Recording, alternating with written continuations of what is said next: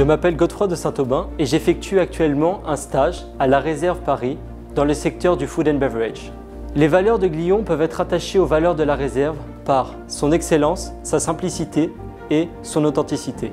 Mon stage va m'apporter tous les outils nécessaires pour bien appréhender le monde de l'hospitalité. Tous les jours, je travaille sur mon professionnalisme, sur mon sens des responsabilités et sur ma communication. La réserve Paris est proche de nombreux lieux touristiques, ce qui me permet de côtoyer professionnellement différentes cultures. Mon stage à la réserve va me permettre d'acquérir tous les outils nécessaires pour bien appréhender le secteur de l'hospitalité et je vous souhaite de vivre une expérience aussi enrichissante que la mienne.